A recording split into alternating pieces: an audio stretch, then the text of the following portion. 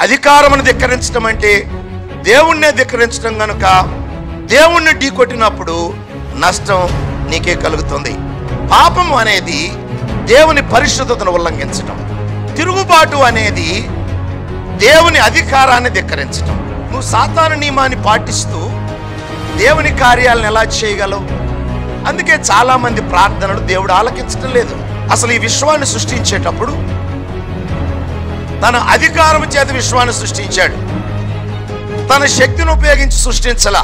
అన్యాయం ప్రారంభం కాగానే దేవుడు లూసిఫర్ని కిందకు పడత్రోయలేదు. ఎందుకు పడత్రోయలేదంటే వాడు దేవుని పరిశుద్ధతను ఉల్లంఘించాడు. దేవుని అధికారాన్ని ఇంకా ధిక్కరించలా. మనుషుడు ఎందుకు క్రమం తప్పుతున్నాడు?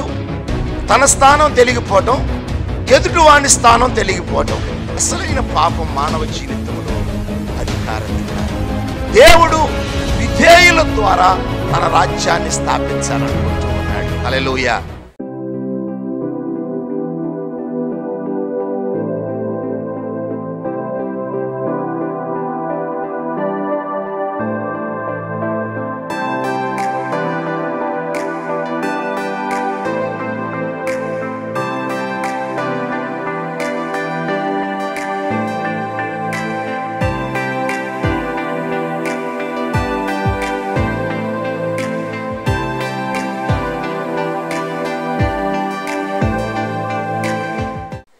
పత్రిక పదమూడవ అధ్యాయము మొదటి రెండు వచనాలు. ప్రతివాడును పై అధికారులకు లోబడి ఉండవలెను. ఏలయనగా దేవుని వలన కలిగినది తప్ప మరి ఏ అధికారమును లేదు.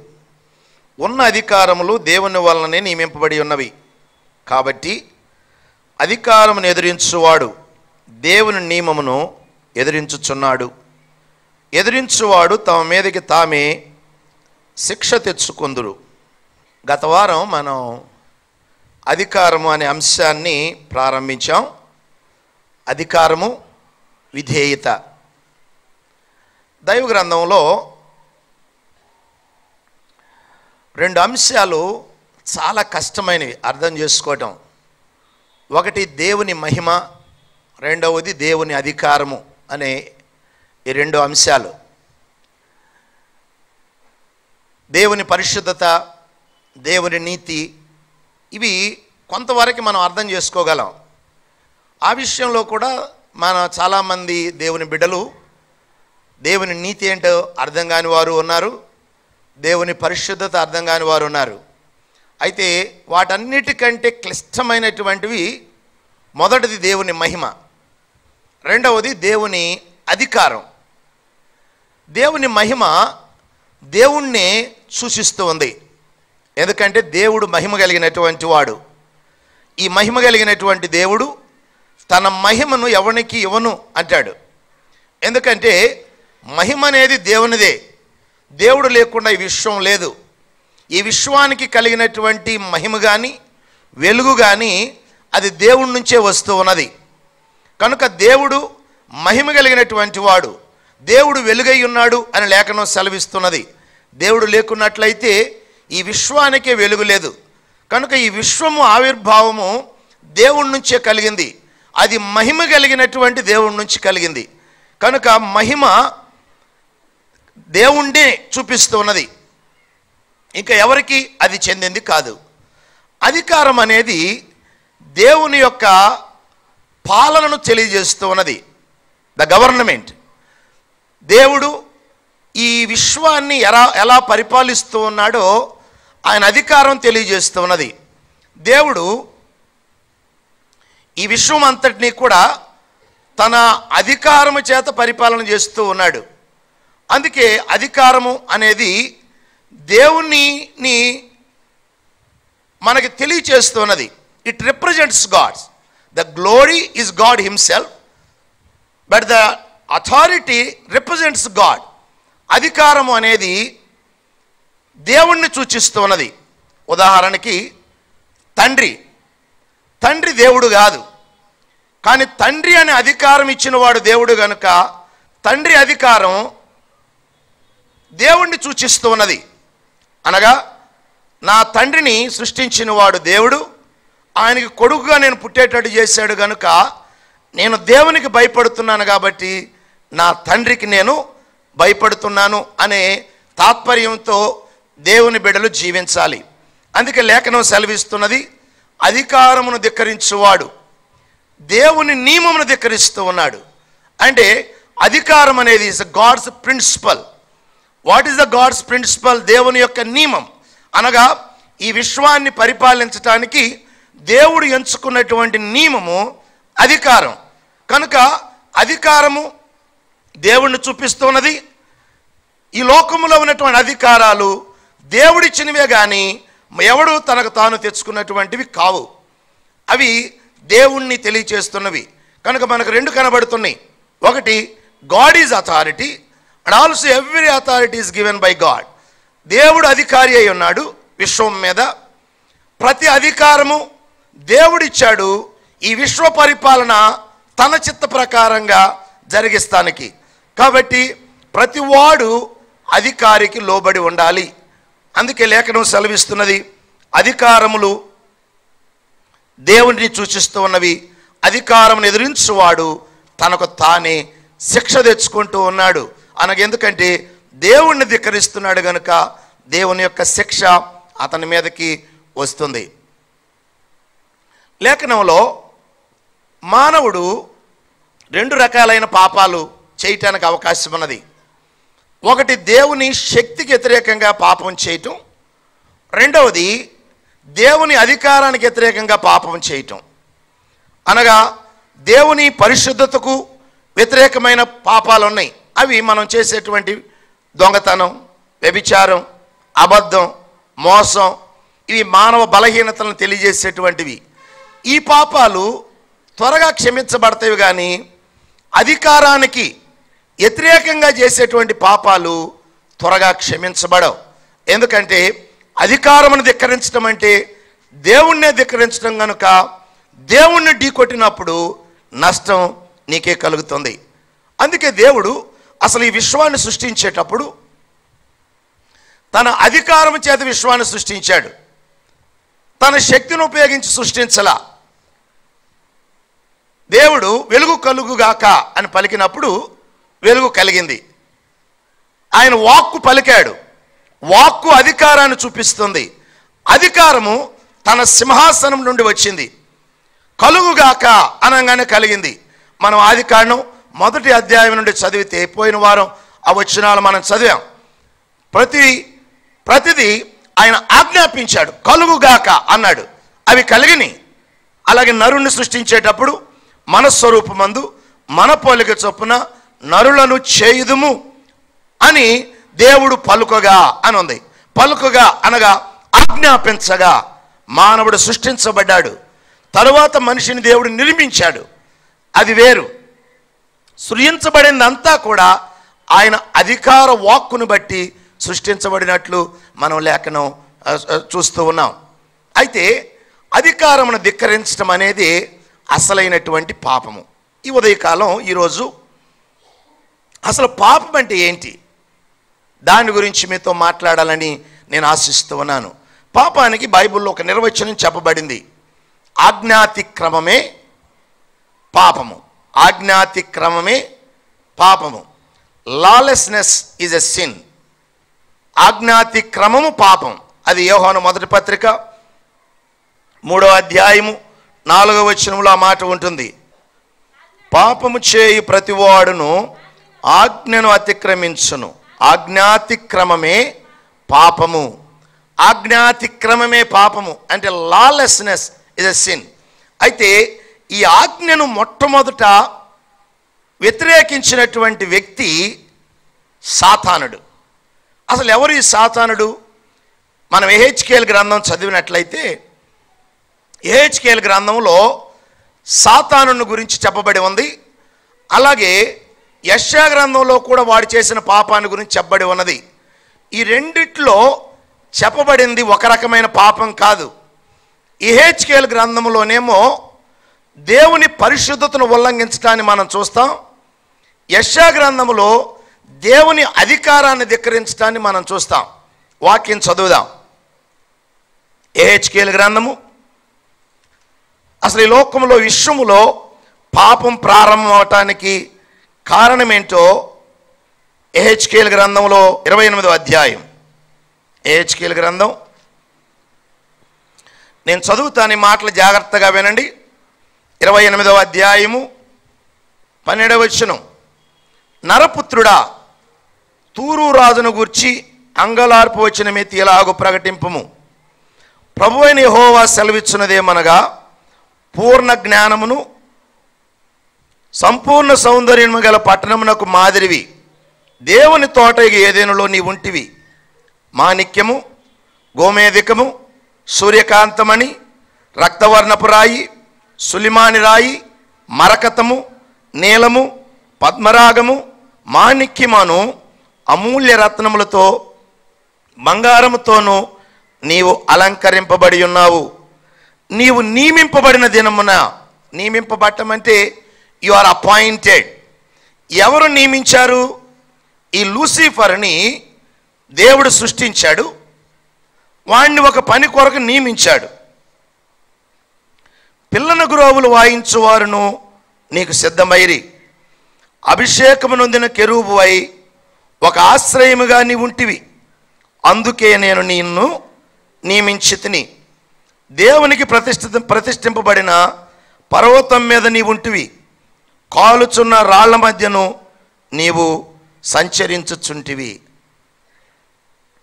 ఈ విశ్వంలో దేవుడు సృష్టించిన ప్రతిదానికి ఒక ఉద్దేశం ఉన్నది అది దేవుని ఉద్దేశం.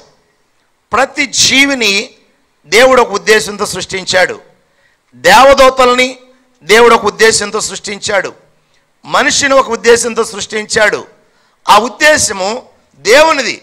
ఆ దేవుని ఉద్దేశం నెరవేర్చుట కొరకే దేవుడు చేసుకున్నాడు. ఈ లూసిఫర్ పట్ల దేవుని ఉద్దేశం ఏంటి? అతడు ఈ విశ్వములో ఏలికై ఉండి ఈ పరిపాలన చేయాలి. అది దేవుని యొక్క ఉద్దేశం. అందుకే అందరికంటే ఎక్కువ సౌందర్యాన్ని అందరికంటే ఎక్కువ జ్ఞానాన్ని ఇచ్చి దేవుని పర్వతం మీద దేవుడు పెట్టాడంట. నువ్వు ఇక్కడ కాదు ఉండాల్సింది ఇక్కడ ఉండు? ఉన్నత స్థలంలో ఉంచాడు. ఇంకొక మాటలో చెప్పాలంటే ఇక దేవుని తరువాత రెండవ స్థానము ఈ లూసిఫర్ది. అతను కాలుచున్న రాళ్ళ మధ్య సంచరిస్తూ ఉన్నాడు. దేవుడు ఎక్కడైతే ఉన్నాడో ఆ దేవుని దగ్గరలో అనగా దేవుడు వాస్తవంగా సమీపింపరాని తేజస్సులో ఉండేవాడు. దాని తరువాత నెక్స్ట్ స్థానము ఈ లూసిఫర్ది. అంతటి మహోన్నతమైన వ్యక్తిగా దేవుడు ఈ వ్యక్తిని చేశాడు. ఒక స్థలాన్ని నియమించాడు. నువ్వు ఇక్కడే ఉండు. ఇదిగో నీ క్రింద ఉన్న వారందరినీ కూడా పరిపాలించమని దేవుడు తనకి అధికారం ఇచ్చాడు. అయితే అతనిలో అక్రమం ప్రారంభమైంది. ఏంటి అక్రమము? ఇక్కడ వాక్యం ఏం చెబుతుందంటే పదహారవ వచనం. అయితే నీకు కలిగిన విస్తారమైన వర్తకము చేత లోపల నీవు అన్యాయం పెంచుకుని అన్యాయం అంటే న్యాయం కానిది. ఏంటి న్యాయం కానిది? వాడు పెంచుకున్నది ఏంటి నేను దేవునితో ఎందుకు సమానంగా ఉండకూడదు? క్రమం తప్పాడు. నేను దేవునితో సమానంగా ఉండాలి అని అనుకున్నాడు మనసులో. అనుకుని అందరికీ చెప్పటం ప్రారంభించాడు. మీరందరూ నాకెందే ఉన్నారు కదా? నా మాట వినండి. మిమ్ములను అధికారులుగాను సామంతులుగాను నేను చేస్తాను. నా సింహాసనాన్ని దేవునితో సమానంగా వేసుకుంటాను అని చెప్పటం ప్రారంభించాడు. కానీ దేవుడు అతన్నేమి పడత్రోయిలా. అన్యాయం ప్రారంభం కాగానే దేవుడు లూసిఫర్ని కిందకు పడత్రోయలేదు ఎందుకు పడత్రోయలేదంటే వాడు దేవుని పరిశుద్ధతను ఉల్లంఘించాడు. దేవుని అధికారాన్ని ఇంకా ధిక్కరించలా. చూడండి తండ్రిని ధిక్కరించే స్థాయికి బిడ్డ వెళ్ళాడు అంటే వాడులో అన్యాయం ఎప్పుడూ ప్రారంభమైందని. అన్యాయం ప్రారంభం కాకుండా న్యాయం కానిది. అన్యాయం అంటే అర్థం న్యాయము కానిది. ప్రారంభం కా కాకుండా అధికారాన్ని ఎవడు ధిక్కరించడు. వాడిలో అన్యాయం ప్రారంభమైంది. అన్యాయం ఎప్పుడైతే ప్రారంభమైందో ఆలో ఆల్రెడీ అతడు దేవుని పరిశుద్ధతను ఉల్లంఘించాడు. దేవుని నీతిని ఉల్లంఘించాడు. అది అంతరంగికమైంది. కానీ వాడు ఇంకా తిరుగుబాటు చేయలా. యశా గ్రంథంలోకి వచ్చేసరికి వాడు తిరుగుబాటు చేసినట్టుగా ఉన్నది. యశా గ్రంథము పద్నాలుగవ అధ్యాయము పన్నెండవ వచనం. మహోన్నతునితో నన్ను సమానునిగా చేసుకుందును అని. వాడు అనుకుని వాడు బయలుదేరాడు. ఎక్కడి వరకు ఎక్కడికి వెళ్ళాలని? దేవునితో సమానంగా ఉండాలని బయలుదేరాడు. క్రమం తప్పాడు. అది లాలెస్నెస్ అంటే క్రమము తప్పటం అక్రమం. బైబిల్లో అక్రమం అనే మాట చాలా చోట్ల మనం వింటాం. ఏసైన విషయంలో అక్రమకారుల్లో ఒకనిగా ఎంచబడెను. అంటే అక్రమకారులు ఎవరు సాతాను సంబంధులు. ఏసయ్య కూడా అక్రమకారుల్లో ఒకటిగా ఎంచబడ్డాడు. వాస్తవంగా ఏసయ్య అక్రమకారుడు కాదు ఆయన నీతిమంతుడు క్రమం కలిగినటువంటి వాడు. సాతానుడు అక్రమస్తుడు. అక్రమం ఎక్కడ ప్రారంభమైందంటే పరలోకంలోనే ప్రారంభమైంది. వాడు క్రమము తప్పి దేవునితో సమానంగా ఉండాలి అనుకున్నాడు. ఎప్పుడైతే అలా అనుకున్నాడో దేవుడు వాడిని అక్కడి నుంచి క్రిందకు పడత్రొచ్చాడు. ఎందుకంటే అక్రమస్తుడు దేవుని సన్నిధానంలో ఉండడు. ఉండటానికి వీల్లేదు.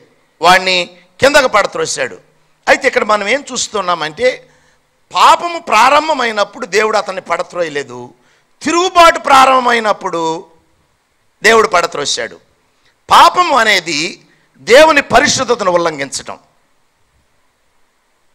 తిరుగుబాటు అనేది దేవుని అధికారాన్ని ధిక్కరించటం. తిరుగుబాటు అనేది ఒక నియమం. విధేయత అనేది కూడా నియమమే. అది ఎవరి నియమము? విధేయత అనేది దేవుని నియమం. తిరుగుబాటు అనేది సాతాను నియమం. ఈ లోకము సాతాను నియమంతోనే జీవిస్తూ ఉన్నది. అసలు లోకం అంతా చెడిపోవటానికి ప్రధాన కారణం ఏంటి? మీరు ఒకసారి ఆలోచించేయండి ఇదే కారణం. క్రమం తప్పటం మనుష్యుడు. మనుషుడు ఎందుకు క్రమం తప్పుతున్నాడు తన స్థానం తెలిగిపోవటం ఎదుటివాని స్థానం తెలిగిపోవటం. అంటే ముఖ్యంగా నా పైన అధికారి ఎవరు అనేది తెలియకపోవటం దానికి కారణం ఎందుకు తెలియటం లేదు? అసలు దేవుడు ఈ విశ్వం మీద అధికారిని దేవుడు ఈ విశ్వాన్ని తన అధికారము చేత పరిపాలిస్తున్నాడనే సంగతి మానవునికి తెలియకపోవటం అయితే దేవుని బిడ్డలు ఈ సంగతి తెలుసుకోవాలి. అధికారమునకు లోబడటమే దేవుని నియమం. అధికారమును ధిక్కరించటము సాతాను నియమం. ఈ రోజున చాలామంది దేవుని అధికారానికి లోబడుకోకుండా దేవుని సేవ చేసేవారు కూడా ఉన్నారు. సైద్ధాంతపరముగా దేవుని పరిచర్య నువ్వు చేయొచ్చు. కానీ నువ్వు ఆల్రెడీ సాతాను నియమంతో చేస్తూ ఉన్నావేమో. నువ్వు ఏ అధికారికి లోబడవు? ధర్నాలు చేస్తావు ధిక్కరిస్తావు సమ్మెలు చేస్తావు బాయ్కట్ చేస్తావు స్కూల్స్లో. అది సాతాను నియమం. నువ్వు సాతాను నియమాన్ని పాటిస్తూ దేవుని కార్యాలను ఎలా చేయగలవు? అందుకే చాలామంది ప్రార్థనలు దేవుడు ఆలకించటం లేదు. కుటుంబాల్లో దేవుడు ప్రార్థనలు ఎందుకు ఆలకించటం లేదు? నువ్వు అధికారానికి లోబడవు. కనుక దేవుడు అధికారులను మన జీవితాల్లో ఏర్పాటు చేశాడు. ఎందుకంటే తాను ఈ విశ్వాన్ని సక్రమమైనటువంటి మార్గంలో పరిపాలన చేయటానికి ఎప్పుడైతే సాతనుడు ద్వారా అక్రమం సంభవించిందో దేవుడు అయినా తన అధికార నియమాన్ని పక్కన పెట్టలేదు. అధికారాన్ని ఆయన ఉపయోగించే ఈ విశ్వాన్ని సెటరేట్ చేస్తూ ఉన్నాడు. మనందరికీ తెలుసు ఇప్పటికీ సాతానుడు ఈ లోకంలో ఈ విశ్వమంతా కూడా ముఖ్యంగా ఈ భూమి మీద తన కార్యాలు జరిగిస్తూ ఉన్న సాతానుడి దేవుడు ఇంకా బంధించలా. ఎందుకు బంధించలేదంటే ఈ అక్రమస్తుడైన సాతానుడు ఈ మానవ జాతిని ఒక పక్క నాశనం చేస్తూ ఉండగానే తన కుమారుని ద్వారా విధేయులైనటువంటి వారి ద్వారా తన రాజ్యాన్ని భూమి మీద మొదట స్థాపించాలనుకుంటూ ఉన్నాడు. ఒక పక్క అక్రమం విస్తరిస్తూ ఉన్నది. మరి ఒక పక్క దేవుడు విధేయుల ద్వారా తన రాజ్యాన్ని స్థాపిస్తూ ఉన్నాడు. ఆ విధేయులే సంఘం. ఇది అర్థం చేసుకోవడానికి కొంచెం కష్టంగా ఉండొచ్చు. అందుకే దేవుని బిడ్డలమైన మనము అసలు మనం ఎలా రక్షించబడ్డాం? ఒకసారి ఆలోచన చేయండి. రక్షించబడటం అంటే అర్థం ఏంటి? చర్చికి వెళ్ళాం కాలు నొప్పి తగ్గింది. చర్చికి వెళ్ళాం కడుపు నొప్పి తగ్గింది. అందుకని మేము ఏసైని నమ్మాం. చర్చికి వెళ్ళాం మాకు పొలము అమ్ముడు పోలేదు అమ్ముడు పోయింది. అదేనా? కాదు. యేసు దగ్గరకు రావటం అంటే యేసు అధికారానికి లోబడటం. నువ్వు యేసు దగ్గరకు వస్తున్నప్పుడు యేసు అధికారాన్ని ఎదుర్కొంటూ ఉన్నావు. ఆయన అధికారాన్ని ఎప్పుడైతే ఎదుర్కొంటున్నావో ఆయనకి విధేయుడు అవుతూ ఉన్నావు. ఎప్పుడైతే దేవునికి విధేయుడు అవుతున్నావో మిగిలినటువంటి అధికారాలన్నిటికీ విధేయుడు అవటానికి నిన్ను నువ్వు సమర్పించుకుంటూ ఉన్నావు. ఒకప్పుడు యేసుని ఎరగక మునుపు ఒక అబ్బాయి లేక ఒక అమ్మాయి తల్లిదండ్రులను ఎదిరించేది. యేసుని నమ్మింది. దేవుని అధికారానికి ఎప్పుడైతే లోబడిందో తన స్థానం ఏంటో అర్థమైంది. తన తల్లికి లోబడుతుంది తన తండ్రికి లోబడుతుంది. అలాగ ఒక స్త్రీ ఎన్నడూ త భర్త మాట వినేది కాదు. ధిక్కరించేది. యేసుని నమ్మింది. అర్థమేంటో తెలుసా? యేసు అధికారాన్ని ఎదుర్కొంది. యేసు అధికారానికి లోబడింది. ఎప్పుడైతే యేసు అధికారానికి లోబడిందో తన స్థానం ఏంటో అర్థమైంది. భర్తకు లోబట్టు నేర్చుకుంది. ఇది దేవుని యొక్క నియమం. అసలు దాని కొరకు ఎస్ఐ లోకానికి వచ్చాడు. ఒకసారి ఆలోచించండి. సాతానుడు క్రమం తప్పి దేవుని అధికారాన్ని ధిక్కరించాడు. తర్వాత దేవుడు మానవుని సృష్టించుకున్నాడు. మానవుడు కూడా దేవునికి విధేయత చూపకుండా దేవుని అధికారాన్ని ధిక్కరించాడు. చివరికి తన కుమారుడి లోకానికి వచ్చాడు. తన కుమారుడి లోకానికి వచ్చి చేసిన పనేంటి? సిలువలో మరణించడమా? కాదు. సిలువలో మరణించడం అనేది తండ్రి చిత్తం. కనుక తండ్రి చిత్తము చేయటం అనేది ప్రధానమైంది కానీ ఆయన సిలువలో మరణించడం అనేది కాదు. అది దేవుని తండ్రి చిత్తము కనుక అలాగూ మరణించాడు. ఒకవేళ తండ్రి చిత్తం వేరేగా ఉంటే అలాగూ మరణించేవాడు. కనుక యేసు ఈ లోకానికి వచ్చింది ఎందుకంటే విధేయత అంటే ఏంటో చూపించాలి. తండ్రి తన రాజ్యాన్ని ఈ భూమి మీద స్థాపించాలి అంటే విధేయుడు కావాలి. ఒకసారి ఆలోచించేయండి. ఒక తండ్రికి పది మంది బిడ్డలు ఉన్నారు ఒక కుమారుడు ఎప్పుడు మిగిలినటువంటి వాళ్ళని చెడగొడుతూ ఉన్నాడు. తండ్రికి ఎంత మనస్తాపన ఉంటుంది. ఈ కుటుంబాన్ని ఏ విధంగా నడిపిస్తాడు? చెబుతాడు చిన్నోడా నేను చెప్పిన మాట వినరా? నీ వలన ఇదంతా జరుగుతుంది. అంటాడు. వాడు వినలేదు. ఏం చేస్తాడు? మనస్తాపనకు గురవుతాడు. కారణం ఏంటి?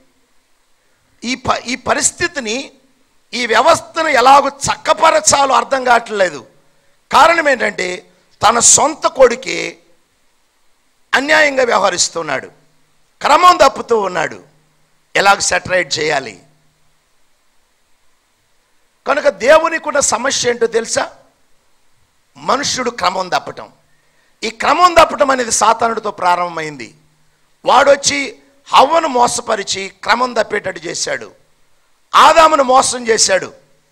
క్రమం తప్పేటట్టు చేశాడు. మానవ జాతి అంతటినీ కూడా మోసపరుస్తూ ఉన్నాడు.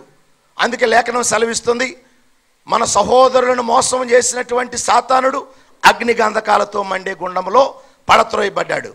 అయితే వాడిని పడత్రోసే ముందు దేవుడు విధేయుల ద్వారా తన రాజ్యాన్ని స్థాపించాలనుకుంటూ ఉన్నాడు. హలెలుయ అందుకే ఎస్ఐ అంటాడు పరలోక ప్రార్థనలో నీ రాజ్యం వచ్చునుగాక నీ చిత్తం పరలోకమందు నెరవేరుచున్నట్లు భూమి మీద నెరవేరునుగాక అని ప్రార్థించమన్నాడు. ఏంటి అర్థం? నీ రాజ్యం వచ్చునుగాక దేవుని రాజ్యం పరలోకములో ఉంది భూమి మీదకి రావాలి. కానీ ఇక్కడ ఎవరున్నారు ఈ లోకాధికారి ఉన్నాడు సాతానుడు. ఈ లోకాధికారి సర్వలోకాన్ని చెడగొడుతూ ఉన్నాడు. మనుషులు క్రమం తప్పేటట్టు చేశాడు. ఎస్ఐ అంటున్నాడు దేవా నీ రాజ్యం వచ్చునుగాక నీ చిత్తము పరలోకమందు నెరవేరుచున్నట్లు. దేవుని చిత్తం పరలోకంలో నెరవేరటానికి ఎలాంటి ఆటంకము లేదు. ఆటంకం అంతా ఎక్కడుంది? ఈ భూమి మీదే ఉంది. ఎందువలన? ఈ భూమి మీద సాతాను చిత్తం ఉంది మానవ చిత్తం ఉంది ఇప్పుడు నువ్వు సాతాను చిత్తానికి లోబడతావా? దైవ చిత్తానికి లోబడతావా? సాతాను చిత్తం ఏంటి తిరుగుబాటు వాడి నియమం దైవ నియమం విధేయత. ఏ నియమాన్ని పాటిస్తావు నువ్వు? తిరుగుబాటు నియమాన్ని పాటిస్తావా? విధేయత నియమాన్ని పాటిస్తావా? నీ చిత్తం నెరవేరినట్లు భూమి మీద నెరవేరునుగాక ఎవరైతే ఆయన చిత్తానికి లోబడతారో వారి ద్వారా దేవుడు తన రాజ్యాన్ని స్థాపిస్తూ ఉన్నాడు. అయితే సంఘము దేవుని రాజ్యం. దేవుని చిత్తాన్ని నెరవేర్చే ప్రజలు దేవుని చిత్తాన్ని నెరవేర్చడం అంటే అర్థం ఏంటో తెలుసా? మన వ్యక్తిగత జీవితాల్లో అనుదిన జీవితంలో నీ పైన అధికారిని గుర్తించటం. అమ్మ నీ మీద అధికారి నాన్న నీ మీద అధికారి. లేక ఒకవేళ నువ్వు ఒక కంపెనీలో పనిచేస్తున్నావు. ఆ కంపెనీలో యజమానుడు నీ అధికారి. ఒకవేళ అతను దుర్మార్గుడా నువ్వు కంపెనీని విడిచిపెట్టచ్చు. ఆ కంపెనీలో ఉంటూ అధికారాన్ని ధిక్కరించడానికి వీల్లేదు. అలాగే రోడ్డు మీద పోలీస్ ఆఫీసర్. లేదా ఒక సామాన్యమైన పోలీస్ ఉన్నాడు. ట్రాఫిక్ కంట్రోల్ చేస్తూ ఉన్నాడు. నేను అక్కడికి వెళ్ళగానే అతడు చేయలా పెట్టగానే నేను పోలీసునిగా చూడాల్సింది. అతని వెనక్కున్న అధికారాన్ని చూడాలి. అక్కడ ఉన్నటువంటి వాడు సామాన్యుడై ఉండొచ్చు. నాకంటే తక్కువ జీతం తీసుకునేవాడై ఉండొచ్చు. వాడు ఆ పోలీసు సైకిల్ మీద వచ్చి సైకిల్ పక్కన పెట్టి తన దుస్తులు ధరించుకుని అక్కడ నిలబడి ఉండొచ్చు. నేను ఒకవేళ ఆడి కారులోనో ఖరీదైనటువంటి కారులో నేను వెళ్ళి ఉండొచ్చు ఖచ్చితంగా నేను ఆగాలి. నేను దేవుని బిడ్డనైతే ఆగుతాను. ఎందుకు ఆగుతానో తెలుసా? ఆ పోలీస్ వెనక ఉన్న నా దేవుని అధికారాన్ని నేను చూస్తూ ఉన్నాను. అది దేవుని నియమానికి లోబడటం అంటే. ఈరోజు ఎంతమంది లోబడుతున్నారు? ప్రజలందరూ క్రమం తప్పుతున్నారు. ఈరోజు వచ్చిన సినిమాలు కానీ సీరియల్స్ కానీ ఏం చూపిస్తుంది లోకానికి? ఒక అబ్బాయి అమ్మాయి ప్రేమించుకోవటం అమ్మా నాన్నని ధిక్కరించటం కావాలంటే ఇలా చంపటం లెగిసిపోవటం. అక్రమం. క్రమం తప్పటం. దేవుణ్ణి నమ్మాం మనం. ఎక్కడ మార్పు వచ్చింది? దేవునికి ఉన్న స్ట్రగుల్. ఈ- ఈ లేఖన నేను ధ్యానిస్తున్నప్పుడు నాకు అనిపించింది. దేవుడు ఈ దేవదూతలను సృష్టించినప్పుడు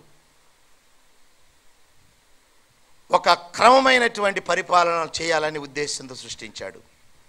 ఒకడు క్రమం తప్పటాన్ని బట్టి పరలోకంలో ఉన్న దేవదూతల్లో ఒకటి బై మూడో వంతు దేవదూతలు క్రమం తప్పారు.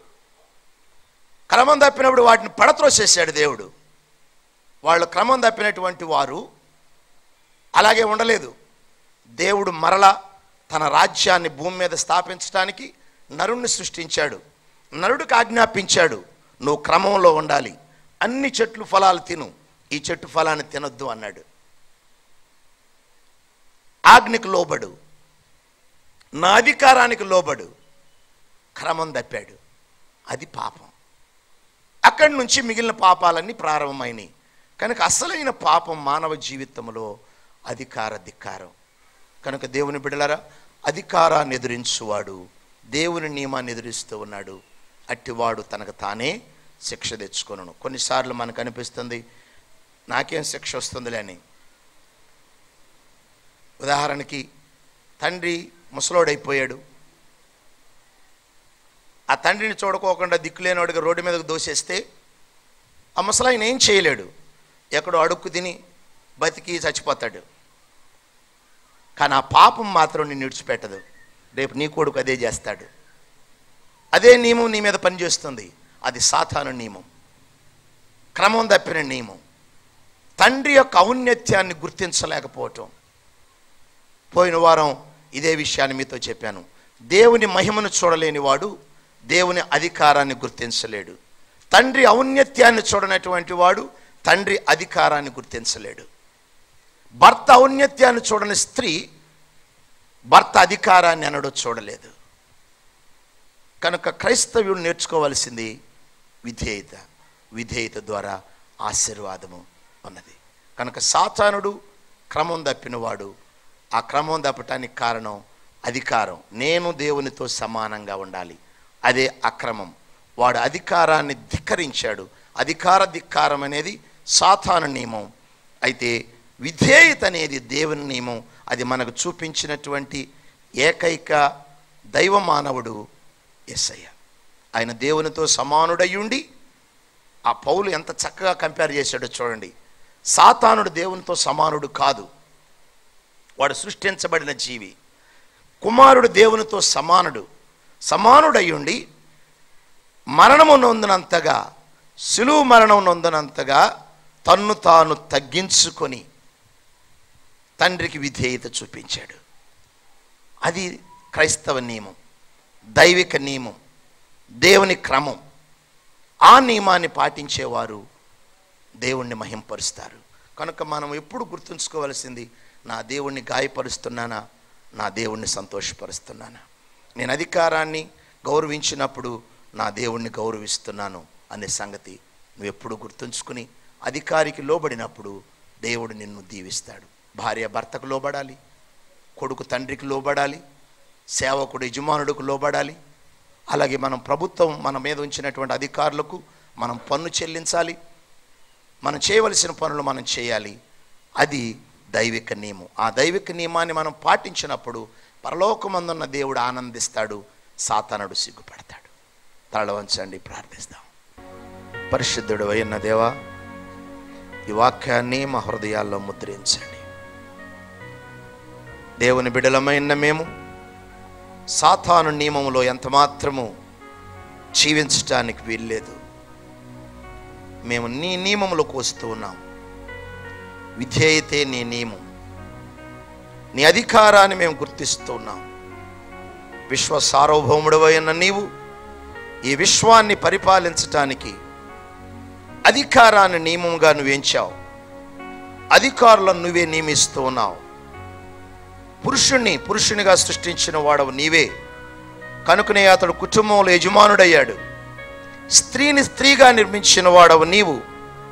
ఆ స్థానాన్ని స్త్రీ గుర్తించినప్పుడు నీ అధికారానికి లోబడుతున్నది. అలాగే నాయన ఈ విశ్వంలో ఉన్న ప్రతి స్థానము నువ్వేర్పరిచినది. అధికారములు నీవిచ్చినవి. అధికారులకు మేము లోబడుతూ ఉన్నాం. ప్రభుత్వానికి మేము లోబడుతున్నాం. మేము ఎవనికి పన్ను వానికి పన్ను చెల్లిస్తూ ఉన్నాం.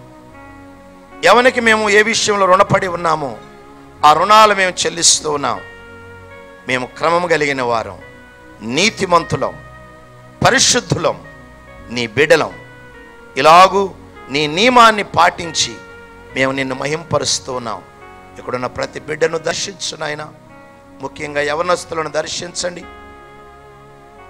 లోకము క్రమం తప్పిన స్థితిలో ఉండగా మా బిడ్డలను కాపాడమని ప్రార్థిస్తూ ఉన్నాం. నీ వాక్యపు వెలుగులో తమను తాము సరిదిద్దుకొని వాక్యములో ఎదగటానికి నీ చిత్త ప్రకారంగా జీవించటానికి కృపను అనుగ్రహించండి. ఏ సున్నామములో అడుగుచున్నాము తండ్రి.